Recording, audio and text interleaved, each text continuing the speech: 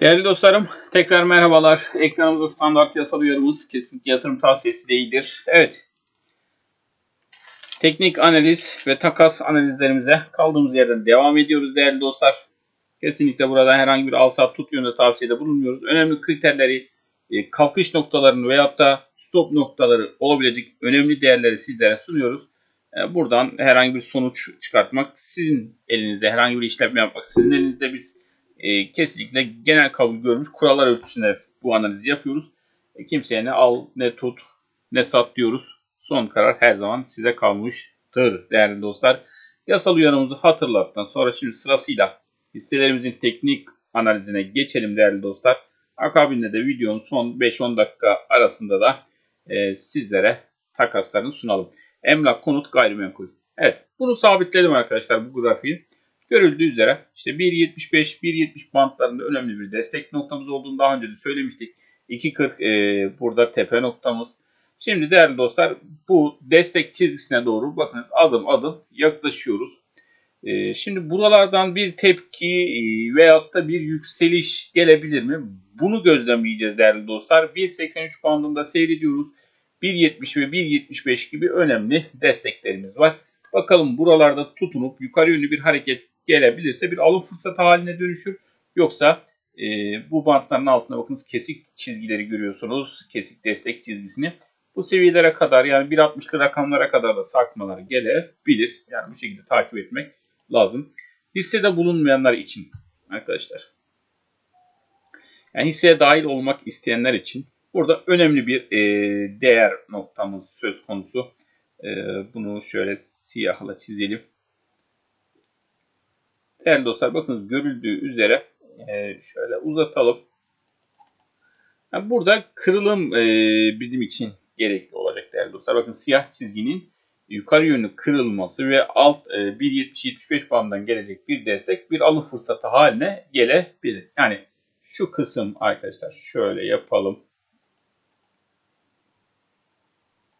Bakın şu kısım bir alım fırsatı haline gelebilir bilir. Şöyle sarı alan olarak gösterelim. Yani şu sarı bölgeyi takip etmek lazım. Buralardan bir atak yukarı doğru gelebilirse bir fırsata dönüşebilir. Tekrar e, önce arkadaşlar şu fiyat etiketini yapıştıralım şuraya bakınız. Eğer yukarı yönlü bir harekette e, 2.06 akabine 2.40'lara doğru yolculuk olabilir. Ama 1.70-75 bandının altı şimdilik riskli gözüküyor. Dikkat etmek gerekli arkadaşlar. Evet e, teknik anlamda diyoruz hisseye dahil olabilmek için tekrar ediyorum şu sarı bölgeden bir kırılım gelmeli arkadaşlar. Bu kırılım gelmediği müddetçe aşağı doğru hareketlenmeler devam edebilir emlak konut gayrimenkulde. Evet indikatörlerine de şöyle baktığımız zaman e, negatif tablo devam etmekte. Evet takasına yine videosunda bakarsınız değerli dostlar. Gelelim bizim geçen haftanın kahramanı Trabzonspor'a. Evet, epey insanın e, teşekkürlerini aldık buradan. Yani artık arkadaşlar biz kısa zaman içerisinde şöyle bir hareket, bir teknik e, formasyondan bahsettik. Yani biz kimseye al sat tut demedik. Formasyon e, nasıl işleyebilir onu anlattık. E, şimdi ana hattını şöyle çizelim arkadaşlar. Bakınız mavi değerler bizim ana e, noktalarımız. Şimdi şöyle büyütelim. Bir formasyondan bahsetmiştik. Formasyonumuz Tobo formasyonuydu arkadaşlar. Şu şekilde 4.30, 4.27 bandında bir kırılım gelebileceğini söylemiştik. Biz tabi orada 4 e, saatlik ve 1 saatlik olarak bakmış idik değerli dostlar. E, yani orada 4.27 idi yanlış hatırlamıyorsam değer. Bakın şu şekilde bir e, formasyon gerçekleşti. Formasyonun teknik hedefi değerli dostlar şöyle vurduğumuz zaman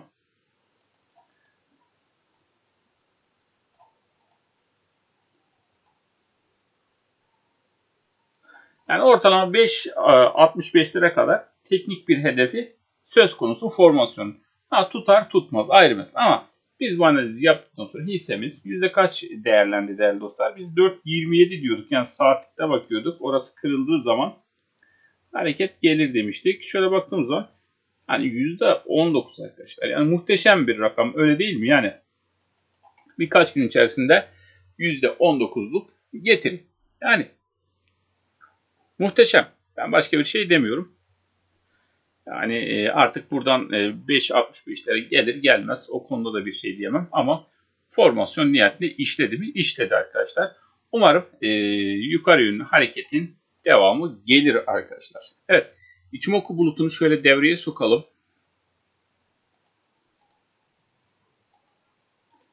Evet. Şimdi İçimoku bulutu anlamında da zaten e, yukarıda 5.90'ları görüyoruz arkadaşlar. 5.90 seviyeleri kırılırsa yukarı doğru e, tekrar e, 8.70'lere kadar ataklar gelebilir. Yani burada spor hisseleriyle ilgili zaten bir önceki videoda Galatasaray e, hissesini anlatırken bahsettik değerli dostlar. E, transferler e, dönemi hareket başlıyor. İşte ligler e, başlayınca takımın durumuna göre yine şekil aldığını söyledik. E, tablo netleştiği zaman e, beklentiler karşılaştığında da ne yapıyordu hisselerimiz? Satış yiyordu arkadaşlar. Veyahut da şampiyonluğa gitmekte olan takımlar diyelim ki işte e, Fenerbahçe şampiyonluğa gidiyor. Şampiyonluktan düştü. Yani matematiksel olarak şansı kalmadı. Hisseler tıkır tıkır geriye gider arkadaşlar. Şampiyonluk ümidi olan spor hisseleri içerisinde bulunan takımların hisseleri ise yukarı doğru gitmeye devam eder. Ne zaman netleşir ise yani şampiyonluğu kesinleştiği zaman ise satışı hemen yemiş olur değerli dostlar. Yani bu anlamda dikkatli bir spor e, hisseleri anlayışınız olması lazım. E, yani beklentiler alınır, gerçekleşenler satılır mantığını iyi takip etmek gerekli arkadaşlar. Evet, e, umarım e, ilk etapta 5.65 hedefine ulaşır diyelim. Ama bulut e, bizim karşımıza çıkacak. Bakalım bu bulut bir direnç vazifesi görecek mi? Buradan tekrar geri çekilme, yani 4.30'lara kadar bir geri çekilme de söz konusu olabilir. Bunu da bir kenara not almakta fayda var değerli dostlar. Evet. Geçelim Trabzonspor'u. Pegasus. Ya Pegasus'u her zaman söyledik. E, Türk Hava Yolları Pegasus, TAV. Arkadaşlar burada düşen kırılmadığı müddetçe bakın bu ifadeyi defalarca kullandık. Kullanmaya da devam ediyoruz. Yani, yani tablo aynı. Değişen hiçbir şey yok arkadaşlar grafikte. Halen direnç altında baskı görmekteyiz. Bakalım bu baskı nereye kadar sürecek? Yani bir yerde şöyle baktığımız zaman bakınız sıkışmaya doğru gidiyor. Bakalım yönünü e, aşağı doğru çevirecek mi? Yani kabaca şöyle baktığımız zaman değerli dostlar 43-60, e, 43-50 bu seviyelerin altına sarkmalar gelir ise 40-50 ve akabinde daha sert düşüşlerde yaşanılabilir. Dikkat etmekte fayda var. Esas olan e, buradaki iç mevku bulutunun 26 periyot sonrasının yeşile dönmesi ki hala kırmızıda. Bulutun üzerine çıkmamız gerekli. Hala bulutun altındayız. Yani baktığımız zaman e, pozitif bir tablo. İndikatörlerden MACD indikatör olumluya doğru kaymış durumda. Bu güzel. Yani MACD indikatörünü beğendim ama e, mavi çizginin altında baskı yemeye devam değerli dostlar. Evet. Şöyle yapalım. Kabaca önemli destekleri, dirençleri koyalım şuraya. Evet, 43-68 seviyeleri önemli bir destek. E, yukarıda 51-75 puanlarda önemli bir direnç noktası değerli dostlar. Geçiyoruz Pegasus'u. Orge'ye bakalım. Orge Enerji Elektrik. Evet Orge'de arkadaşlar e, ben e, birazcık yoruldum artık bir geri çekileyim diyor galiba. Bulutun altına doğru sarkmalar var. E, arkadaşlar e, burada bir e, boşluk noktası noktası var. Altı bantları. Yani buradaki boşluğu kapatmaya gelebilir. E, bu anlamda dikkat etmek gerekli. Hemen burayı şöyle atalım. Altı bantlar önemli. E, ki burada zaten arkadaşlar formasyon olarak hep anlatıyoruz. Destek e, trend anlamında. Trend bozulduğu zaman e, dikkat etmek gerekir. Yani burada da trend e, maalesef bozulmuş arkadaşlar. Bakınız görüldüğü üzere trendde bir bozulma söz konusu. E, bakınız yükselen geniş açılı trendimiz şu anda bozulmuş durumda. Şöyle aşağı yönlü baktığımız zaman burada e, bir kırılım gelmeli. Ve yatayda da şu şekilde Evet görüldüğü üzere arkadaşlar biraz riskli bir tablo içerisine girmiş durumdayız. Yani bulutun altı tehlikeli. Evet bulut altında 6'lara kadar çekilmeler yaşanılabilir. Dikkat etmek lazım. 6 önemli bir destek noktası. Yukarıda ise teknik olarak 7.66 seviyeleri eğer kırılır ise de buradan yukarıya doğru e, güçlü bir atakta gelebilir. Evet.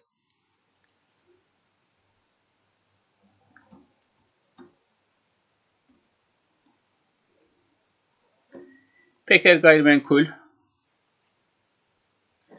ilgili Peker sen nerelerde işlem yaptık?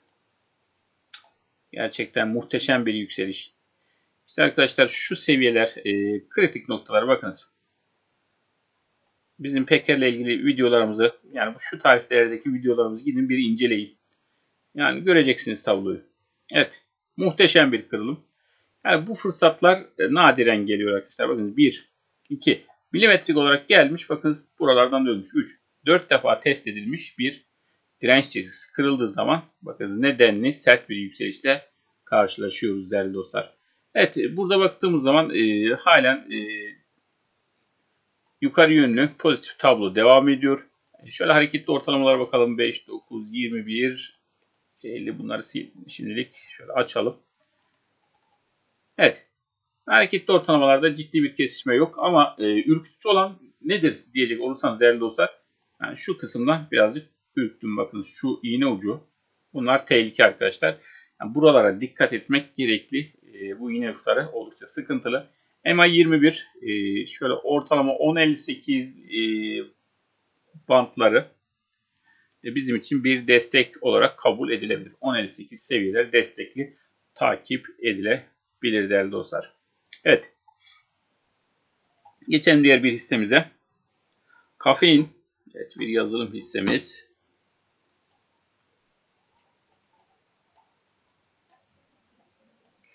Evet şimdi değerli dostlar. Şöyle alalım şurayı. Şimdi ilginç bir noktadayız. Şöyle uzatıyoruz. Bakın şu kısım.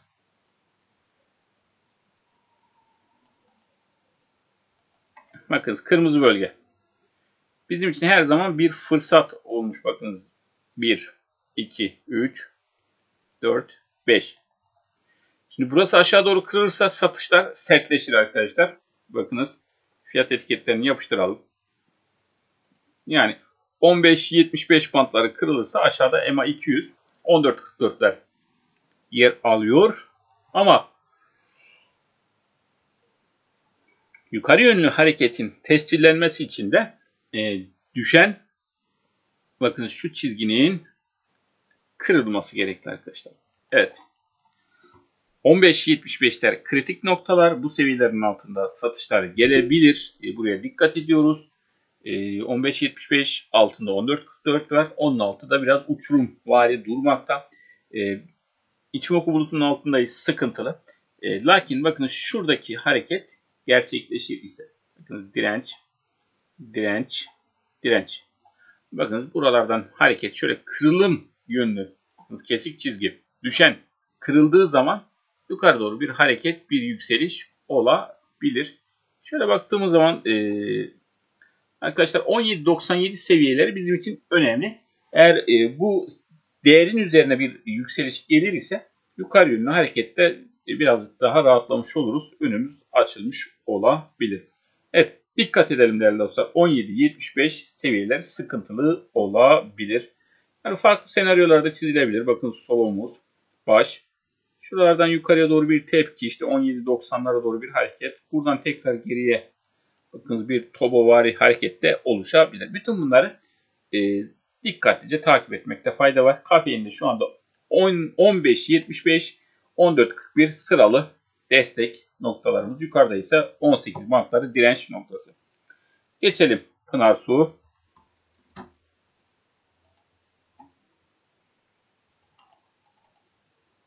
Evet oldukça güzel indikatörlerimiz güzel.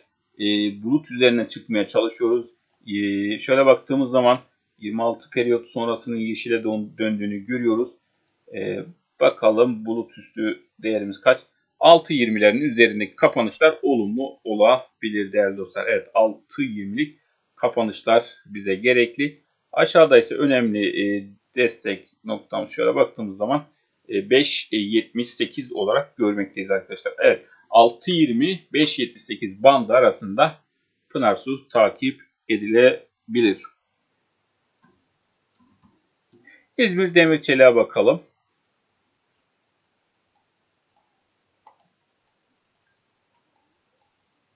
Evet.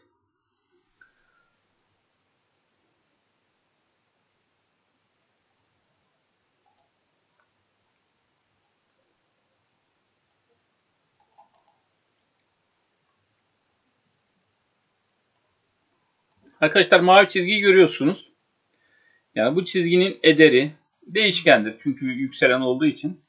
Yani bu seviyeler destek. Yani 22 olabilir, 22 pardon 23-40 olabilir. Burası değişken bir çizgi olduğu için e, yükselen olduğu için rakamlar değişebilir ama mavi bakın iki tepeyi alıyoruz, birleştiriyoruz, uzatıyoruz. Mavi bizim için bir destek konumunda. Hatta şöyle yapalım.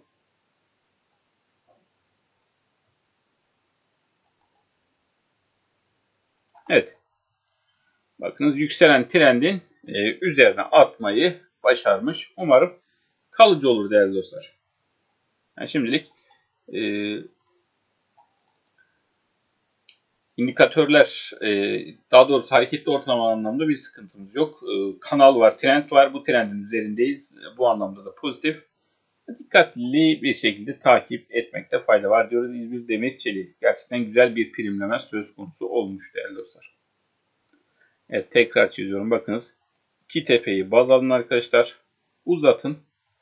Bu seviyenin altına düşmediği müddetçe rahat olun ama bu seviyenin altına düştüğü zaman teknik olarak e, satış yemiş olacaktır. Evet e, yataşa bakalım. Yataşa da epeydir bakmadık diye hatırlıyorum. Evet. Muallak e, bir bölgedeyiz. Bulut içerisindeyiz. Burada her an her şeyin olabileceği bir nokta. Şimdi ana e, değerleri şöyle bir uzatalım. E, kalın çizgilerle.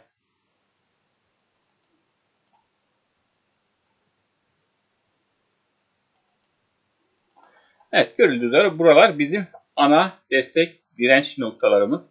Dikkat edeceğimiz nokta e, burada arkadaşlar e, direnç dönüşü olması sıkıntılı. Bulutun içerisinde olmamız sıkıntılı. Bulutun altına gelecek sarkmalar riski arttırır arkadaşlar. Bu anlamda dikkat etmemiz gerekli. Şimdi Trabzonspor'daki gibi bir pozisyonda yok mu hocam diyebilirsiniz ki var. Hemen şöyle yapalım. Şimdi burada e, bir tobovari bir hareket oluşabilir. Lakin 8-12'lerin üzerine atmamız gerekli değerli dostlar. Yani bu seviyenin üzerinde bir tobo oluşumu gözlemlenebilir. Bu da yetmez. Daha yukarıda e, 8.27'lik bir e, direnç söz konusu. İçimoku direnci 8.16-8.27 bandında takip ediyoruz değerli dostlar. Bakın olası bir bulut altına sarkma ki özellikle MA100 seviyeleri önemli. 7.80'ler. Bu seviyenin altı kritik değerli dostlar. Evet. Dikkat ediyoruz. 7.80 önemli bir destek noktası. 8.16, 8.27'lerde bizim için direnç noktalarımız. Evet.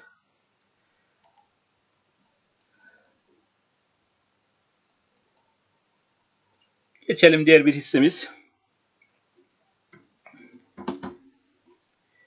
İş yatırım ortaklığı.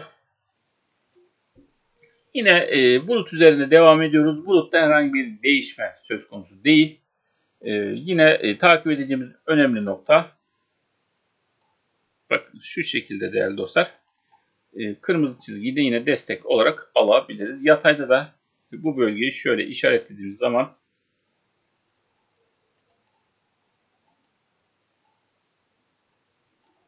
Evet. Buralardan gelecek önemli yani yatay bölgeden gelecek önemli bir destek ve tekrar kırmızının üzerine gelen bir atak şu şekilde düşenle kırılmasıyla e, taçlanarak yukarı yönüne gidebilir. Ama kırmızı hattın altı riskli arkadaşlar. Hemen fiyat etiketini yapıştıralım bu bölgeye. Yani 2.80'lerin altı e, risk faktörü yüksek olacak bir tablo hakim. E, dikkatli bir şekilde buraları takip edelim. 2.80 seviyeleri önemli. Belki de buradan gelecek bir tepkiyle yukarı yönlü bir harekette gelebilir. Yukarıda ise direnç noktamız 3.36 değerli dostlar. Geçiyoruz diğer bir hissemiz.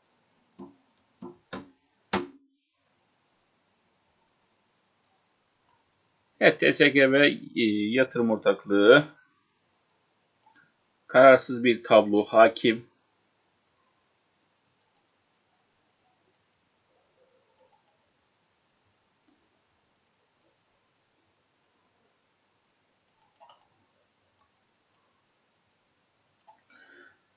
Evet, e, burada eğer yukarı yönlü bir kırılım gelir ise değerli dostlar, görüldüğü üzere burada bir flamavari bir hareketi görüyorsunuz. Yukarı yönlü bir kırılım gelir ise şu şekilde, yani kabaca baktığımız zaman ortalama 2.40 seviyelerin üzerine bir atak gelir ise en azından şu aradaki mesafe kadar yukarıya bir yolculuk e, ki bu da 3.30 bantlarına denk gelir. Söz konusu olabilir. Yine esas olan destek noktalardan bir tanesi mavi çizgi arkadaşlar. Bakınız. Bu seviyenin altına sarkmalar gelmediği müddetçe rahat olun. Ama söylediğimiz rakam bakın şu bulut üstü seviyesi hani 2.40 seviyeler önemli bölgeler kırılırsa yukarı yönlü ataklar hızlanabilir. Evet tablomuz bu şekilde değerli dostlar. Umarım yukarı yönlü bir kırılım gerçekleşir ve olumlu yükseliş ile geleceğimiz nokta kaç olur? Teknik olarak 3.33 seviyeleri. Aşağıda önemli destek e, noktamız ise 2.04 bantları değerli dostlar. Goodyear. Evet Goodyear'a bakalım. Evet Goodyear'ı şöyle baktım. Güzel. İndikatörler güzel. Evet değerli dostlar Goodyear için şöyle bir olumlu e, teknik çalışma yapabiliriz. Gün sonu kapanışı 4.81'lerin üzerinde gelir ise e, yukarı yönlü bir atak söz konusu olabilir. E, 4.81 üzerinde değerli dostlar bulut üstü bir hareket örneğin 5.09'lar test edilebilir. Evet 4.81 seviyesinin üzerindeki bir günlük kapanış e, yukarı yönlü bir hareketi tetikleyebilir. İyi takip edin arkadaşlar. 4.81 seviyesi. Evet bu seviyenin üzerinde bize günlük kapanış gerekli.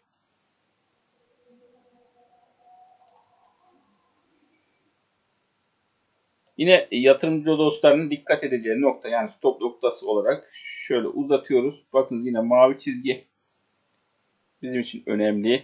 Fiyat etiketi olarak da şöyle baktığımızda 4.47 seviyelerinde bir destek olarak nitelendirebiliriz. Evet 4.47 destek 4.81 5.09 şeklinde sırası sıralı direnç noktalarımız arkadaşlar. Evet geçelim gidiyoruz. Petun'a bakalım. Evet Petun görüldüğü üzere arkadaşlar işte hep söylediğimiz olay maalesef.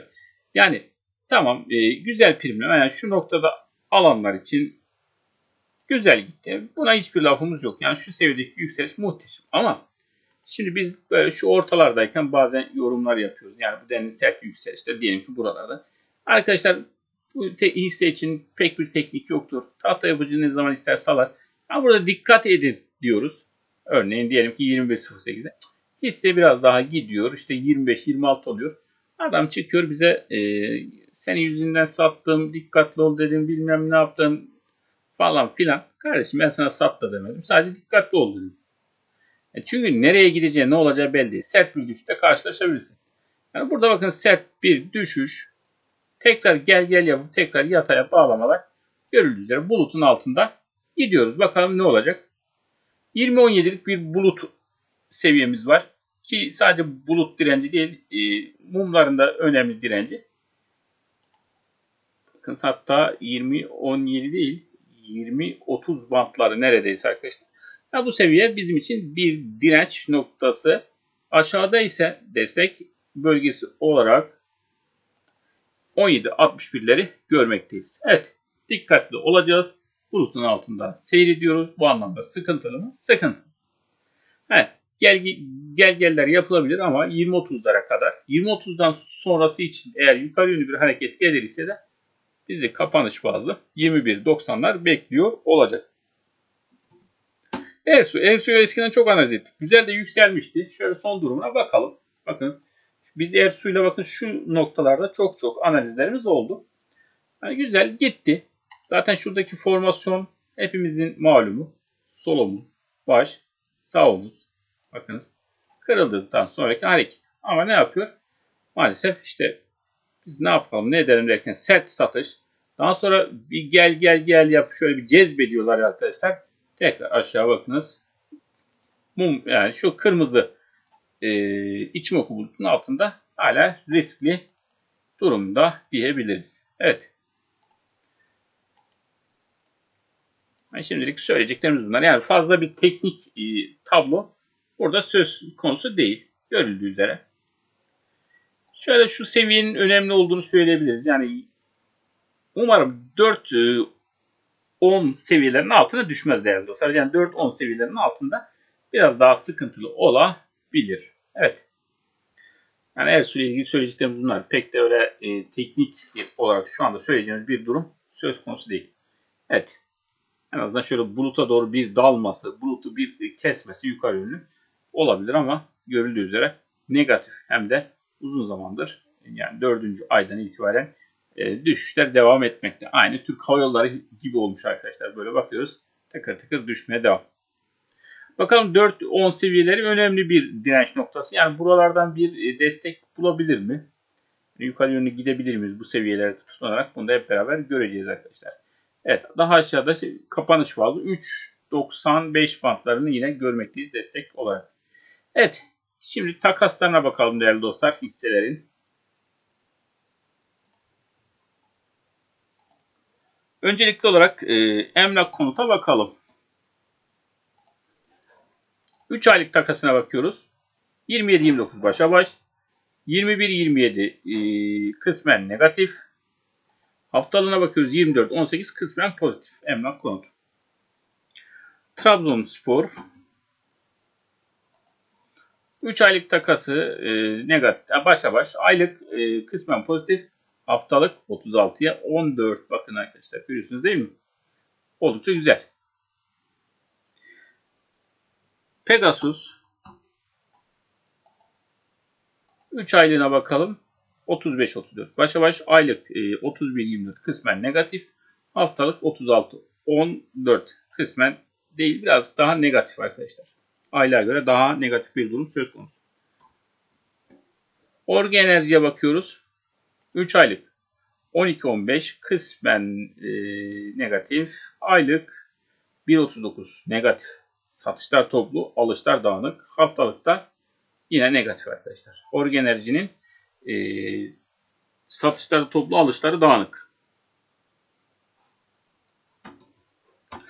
Peker Gayrimenkul Yatırım Ortaklığı'na bakıyoruz. 3 aylık 29'a 14 olumlu, 19-13 olumlu. Haftalıkta ise 23-14 olumlu takas devam etmekte değerli dostlar. Kafein yazılım 3 aylık takası 40'a 19 negatif. Aylık 5.38 negatif. Haftalık 15.26. Negatif bir takas söz konusu kafein yazılımda. Pınar Su'ya bakalım. 3 aylık 32'ye 12 pozitif. Aylık güzel. 40'a 4 pozitif. Haftalık pozitif. Aa, gerçekten oldukça pozitif bir Pınar Su var sevgili dostlar. Şöyle Pinsu'ya tekrar bakalım. Takasını oldukça beğendim. Yani onu söyleyeyim. Alımlar toplu. Evet zaten burada 6.20'yi söylemişiz. E, bulut üstü. Yani bu 6.20'nin üzerine atarsa e, bir atak yukarı yönlü gelebilir arkadaşlar. Yani takası güzel. Geçiyoruz Pınar Suyu. Diğer bir hissemiz İzmir Demir Çelik. 3 aylık takasına baktığımızda 30-23 kısmen e, pozitif. Aylık 19-20 başa baş. Haftalık 23-25 başa baş bir takas oranı var. Yani ne pozitif ne negatif diyeceğimiz tarzda. Yataş 3 aylık 13-12 başa baş 12 yani 1 aylık 4-27 satışlar toplu alışlar dağınık aylıkta negatif 44-7 e, haftalıkta ise pozitife geçmiş arkadaşlar Yataş yatak. Evet 44'e 7 satışlar dağınık alımlar toplu. Haftalıkta güzel.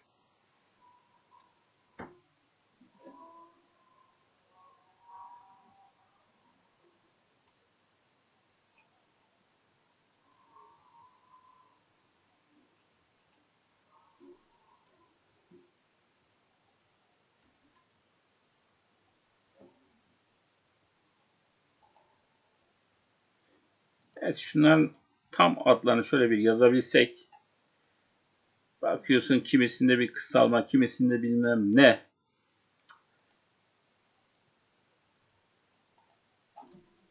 İş yatırım ortaklığı.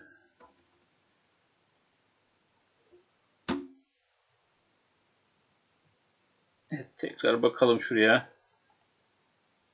Evet aşağıdaymış değerli dostlar. 3 aylığına bakıyoruz. 26'ya 42 negatif.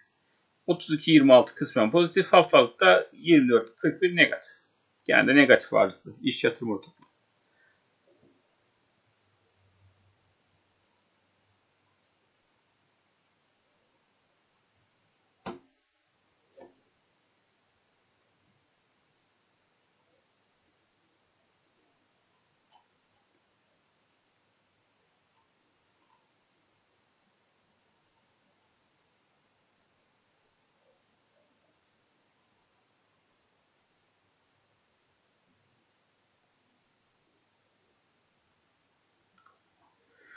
Gel de bul.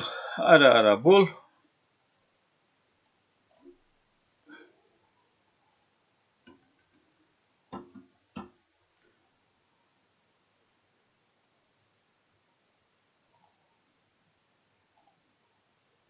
Türk Sinayi Kalkınma Bankası Yatırım Ortaklığı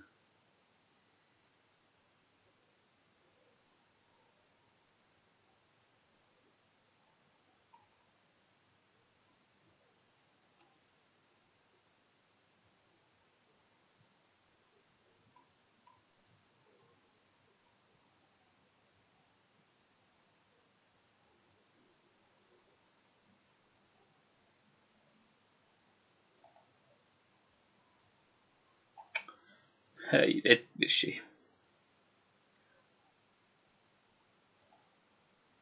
Evet. TSKB gayrimenkul yatırım ortaklığı 3 aylık negatif aylık negatif haftalık negatif. Satışlar toplu, alımlar dağınık arkadaşlar. Goodyear'a bakalım. 3 aylığına bakıyoruz. 43.2 oldukça pozitif. Aylık negatife dönmüş. Haftalık e, yine negatif.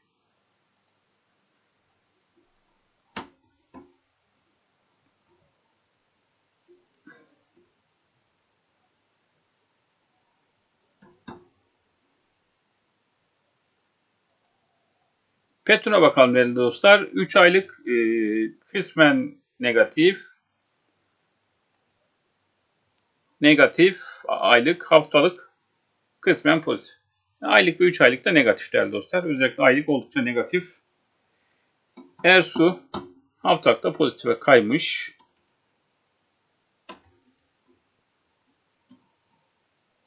Ersu'ya bakalım. 3 aylık 16-29 e, negatif. Aylık 24-21 kısmen pozitif haftalık e, negatif.